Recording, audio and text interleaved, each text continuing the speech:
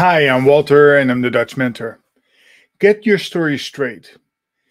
One thing I've experienced over the last couple of years, especially as I'm working with lots of one to one clients, that we are not particularly good at telling a story.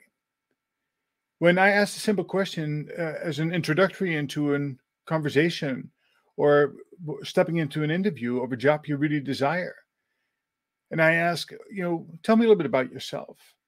Most people ramble two, three, four, five minutes.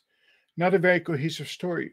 Or sometimes it is so practiced and so rehearsed, it doesn't feel uh, real. And most importantly, it is just laden with attributes. Not really about you, not about your why. It's concentrating on the what and the how. So getting your story straight is about being memorable.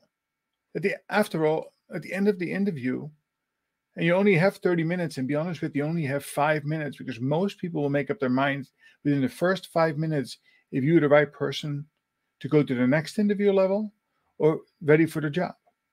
So make that first five minutes count.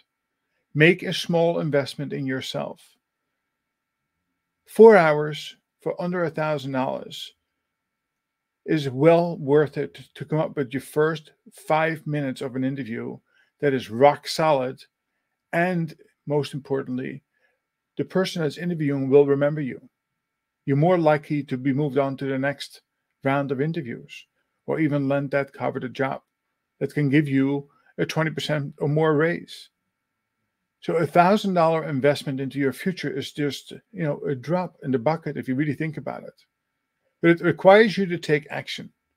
So take action today. Come visit me at thedutchmentor.com, book a consult, let's set it up, and let's kickstart 2024 and accelerate your career journey.